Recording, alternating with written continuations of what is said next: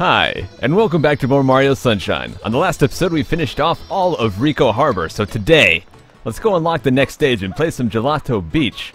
It's right over here, though. This is on the complete other side of the map. Over there was the west side. Let's go to the east side. Even though, guys, west coast is best coast. I'm sorry. So, we have yet another of these guys. Third time's the charm, right? I think this might be the last one, actually. It's the only one I can think of. But pretty much the same as before. Just spray his mouth when it's open. The crud, there's a blue toad hidden in there. How dare you capture Blue Toad? He's the best one! So, before I was wondering where Blue Toad is, he's right there. It's okay, I know exactly what to do once we save Blue Toad. So we hit him three times, he goes down, but he comes back up for round two. This time he spawns a bunch of little enemies. We can just do some kind of mega splash to take care of them. Get this guy. Hey, there we go. Open your mouth. Thank you. These guys are coming for me. Run away, Mario. Yo, the music changed. I got too far. The crut? Hold on. Hold on, let me lure this guy over here. I think they just explode when they get far enough away. That was weird. Come here, buddy. Come here. What? I guess these are death tiles for them? Well then, let's just finish off this guy. That was bizarre. I've never seen that before. Wait, did I just reset the fight? Ah, crud. Okay, let's try that one again. Him back up. Oh, that was it. One more hit. Okay. Cool. So I wonder what was hiding under there. An entire lighthouse. How does that work? I have no idea. Hey, come here, buddy. Come here. I know you can't get me. What? Okay, this one's magical. That one was immune to the death tiles. That's not okay. Blue Toad, I'm so sorry they had you captured. I've come to save you. No problem, Toad. Okay, let's go inside Gelato Beach finally. Oh man. Blue Toad, he's actually really good in Super Mario 3D World, the new Mario on the Wii U. He just runs really fast and he's super fun to play. But anyways, we have the first shine of Gelato Beach. In the Japanese version, this is actually called Mama Beach. I don't know if it's referring to actual mothers or if, if they call Gelato Mama. I don't know. But this one's pretty simple. Basically on these beaches here, there's these little things you can spray. These little sprouts coming out of the ground. And if you fill them up with enough water, they will turn into giant swirly sand. What the? Oh gosh, I'm sorry, man. That did not look like a good way to die. At least it was quick, I guess. But anyways, you spray those, things will pop out of the sand. The one we're looking for... Hey! He must be mad at me because I killed his brother. Anyways, the one we're looking for is this one. Let's spray that, and it pops up a sandcastle. So now we just gotta go over to that. There's a giant arrow letting us know we have to go inside, and bam! We go to the next section without FLUDD. This time we have these blocks, you stand on them, they kind of disappear, I guess. Because gravity doesn't affect them until Mario touches them. I have no idea how that works. But that's just how it is. Thankfully we have a couple blocks here which do not fall apart. So if you want to take a break, there you go. You can have a, a cup of tea or something. Ooh, just gotta make it all the way to the end here. There we go. Yeah, this is actually a very short one. We're almost done already. Just gotta get up to this sandcastle top here. And we made it. Very easy one. Probably the easiest one so far, I would say. Maybe if you have trouble with the sand blocks, that might be a bit of a, a problem, but not a big deal. So we're up to 15 shines, the highest number possible. Well, not really. Maybe? You know, last episode I finished off all of Ricco Harbor. I wonder if I'll be able to do all of Gelato Beach this episode. I can't remember how long all of these are. But maybe we could do it. There's a couple really long ones, but there's also some really short ones. Episode 2. Okay, this is one of the most annoying shines. Each stage has a couple annoying shines. This one is one of the annoying ones for Gelato Beach. And you'll see why. This guy has to tell us, oh no, there's a giant worm on top of a ball in the sky. Nothing worse than a ball worm. So for some reason, and this might be because last episode I killed off their brother, these guys are walking around on top of giant mirrors with plunger feet. Where did they get the plungers? How did they put the plungers on their feet when they don't even have arms? I don't know. but you don't ask these questions. All we need to do is get up on top of the mirror and take care of them.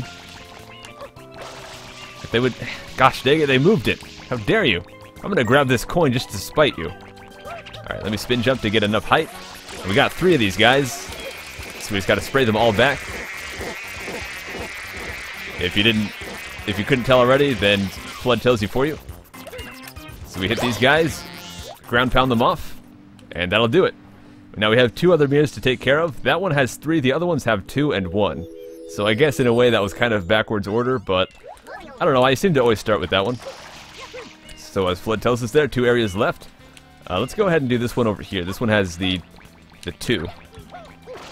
See if I can get up on this tree. There we go. And you want to try to get to the side where they're not walking. That way you have to spray the least amount to push them to the edge. There we go. And got it. There's one left. Now the reason this one's annoying, I mentioned it as a trolley shine, is that these guys can be pretty random. And sometimes they just will not cooperate. And you just have to sit there spraying forever to get them taken care of. It looks like this time they're being pretty nice to me though. Yeah, that was really fast. There we go. That's it for that shine. I sure hope we don't kill Wiggler. Actually, for the Mario universe, Wiggler is my favorite enemy. I think he's really cool. And he he just falls apart and dies. Whoops. Man, we've just been killing everyone today. We killed the giant slime guy. We killed one of those Quackalacks. We killed the Wiggler. We're just on a rampage. Don't wake that guy up. He's sleeping. But we did save a blue toad. So we did some good, I guess. Bam! Up to 16 already. I didn't even know that was possible. Jeez. If you guys noticed, on back in episode 1 on the menu screen, I had 120 shines on both of my other files. Those are actually the only two times I've ever 100%ed this game. I'm very used to just playing the required shines. I've beaten it probably 50 times just getting the stuff you have to, and only twice getting everything, so I don't know that much about a lot of the optional shines, but I'm pretty knowledgeable about the main ones. Hmm. That crow- hey, bro, we just killed you! How are you back? Yeah, somehow, I guess this guy can regenerate. He's like the Wolverine of bugs. Get up! Yes, okay. So all you have to do for this guy, you spray those dunes, the dune bud things, and it pops up the sand, knocks him over, and you hit him. Now that was a little bit slow there, so normally if you hit him just right, you can know where he's going to go next. I took a bit long there, so I have no idea where he's going to go. Where are you going? Over there? Okay, this is good. Oh, you're coming back. Let me just spray this thing again. Hopefully that works. No. Yes? Yes, okay, okay. This is the classic three-hit style Mario boss. You gotta hit him three times to win. So this is hit number two. In the meantime, let's go say hi to these people. Hey guys, you just staring at that flower? Yeah? Let's go ahead and spray that. oh crud, we just knocked them way up. Okay, where's Wiggler going? He's way over there.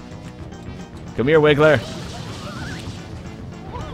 Oh, he's going back to the first one. Wait, spray it again. Spray it quickly, quickly. Come on, get him. Uh, okay, it looks like he likes this side a bunch. Let's see if I can just spray the same one as before and get him. This is a bit awkward. I. Okay, okay. Get it? No? Okay, I'm just gonna go where I normally go, which is I, I do this one right over here. Yeah, he's walking right over this one, so this is gonna be the, the Dune Bud to spray, I think. Yeah, that was a bit of an awkward start. I wasn't sure how it was gonna play out. Looks like I should have just played it as normal and gone for this. I sprayed it way too early there, missed my chance. Come back, Wiggler. Alright, just gotta be patient. He's coming back, he's coming back. Spray, spray! I think I got him. Boom. Just gotta get over there. Alright, good. Sometimes if you're very... Ooh. Oh dear. Get up there. Alright, sometimes if you're very unlucky, he'll fall in just a way so the part you have to hit is underwater. And if it's underwater, you can't actually hit it, so it can be kind of bad. A bit of a rough fight there, but we got him. Let's go grab that shine. What is this guy doing? What, why are these guys just all standing around staring at dune buds? I don't even know. I guess they're just obsessed with those buds. Yeah, it doesn't look like I'll be able to finish off all of Gelato Beach in this episode, but I know which one I want to get to. I want to get rid of one of the other evil shines in this stage, and you guys, if you've played the game before, you probably know what I'm talking about. If you've never played it, you will see. Let's get back in there. Blue Toad, look how fast he runs. Look at this guy. Gosh damn. Mario, please, what are you doing? Oh, what are you sad for? Okay, so he's reasonable. Blue, Blue Toad has empathy. He has feelings. Peach is kidnapped, and Blue Toad actually has... He's scared about that. The other Toads are just happy and jolly all the time. Ah, here's the shine I was looking for. The Sandbird. Oh, yeah. I've beaten this one enough times where I think I can do it on my first try, but... Mostly the shine can just be a little bit boring, and you'll see why. Jump on this guy with the crazy mustache. Yes! So, now that the plunger guys are no longer on these uh, mirrors here, we can just walk on top of them. And I'm just gonna hover right over here. Oop. Oop, oop, oop. Let's try that one again. Yeah, I had a feeling that was gonna miss. Alright, let's try that again. There you go. You can also jump on that spring that was just behind that, but I find this a bit easier. Alright, so we have to ride on top of this giant bird made out of sand blocks. Thankfully, these sand blocks don't actually disappear like the ones in the secret mission. But we just have to run around and collect these red coins. If you see these uh, dust clouds of sand there, those can actually push you back, so you have to be very careful if you're walking on a very thin platform. There's also blue coins floating around in the clouds. Because I'm not doing 100%, I'm not going to bother with those. But those can be quite annoying to grab. Let's grab this one. Turn back around. Yeah, you can use your first person camera to get an easy way to turn around without risking walking off the side. There you go, I'm getting pushed a bunch by that sand cloud. Okay, you can stop flapping, bro, please. Now here's the hard part. He's gonna flip sideways, and we have to very carefully transfer to the side. There we go. It's not that bad once you know what you're doing, but that one can kill you quite a lot if you're a new player. So now we just wait. I've gotten all seven coins that are on him. The eighth one is not actually on top of him. Looks like he's flipping back. There we go. And now we wait. You could collect the blue coins, I guess, just to pass the time, but eh, it's fine. So what we're trying to do is actually get on top of that tower there. We just gotta wait until he goes high enough. He's slowly climbing upwards. I'm not sure why there's yellow coins here. Normally yellow coins will heal damage if you've taken damage, but What's really gonna hurt you here, I guess? I don't know. And there we go, we made it. Let's grab the final red coin. And that is the last evil shine of Gelato Beach, which I'm kind of surprised we did so easily. I can do some more. Let's do some more. We can do a couple more shines at least. I don't know if we'll do all seven. Uh, someone was requesting I do the eighth mission in this game. It's an optional one where you have to do something with a giant watermelon. I will be doing that, but I think that's going to be next episode. So I hear you guys requesting uh, various shines. I've written them down, and I will try to include them here and there if I have time for them. But for this episode, I think we're just going to do number 4 and 5. I think that'll be a good stopping point. Piantissimo Sand Sprint. This one is very easy. Probably the easiest shine in this stage. Alright, all we got to do is go and talk to this guy here. Go through a little bit of dialogue. And he's pointing out a flag here. Basically, we're going to have a foot race. Or, I guess, in our case, we could just hover there. But we're going to race to that flag. He says his record is 35 seconds, so we have to get there in faster than 35 seconds. I'll be using lots of sliding here just to make it a bit faster. And diving, of course, is always faster. See if I can do that. Do this in under 20 seconds. Gonna dive a bunch. There we go. 1555. Now the downside is we just have to stand around and wait for him to come back. Something you could do in the meantime is you could look for a blue coin right up there. There's also these blue birds. Uh, most of these birds are green, but if, the, if you see a blue bird, you can spray it and you can get a blue coin from it. Not seeing any of them right now. Oh, there's one over there. But it looks like this guy's back. Let's talk to him and get our shine. What is that sound? Hold on. Listen closely. Oh, is it this guy? You can't really hear it now, but he was playing some music. It was like the jingle from Mar uh, Super Mario Bros. 1-1 or something. But anyways. Let's do one more shine. One more. Let's go. Get it up to 20. That's a good stopping point, I think. Was that shine 4 or 5?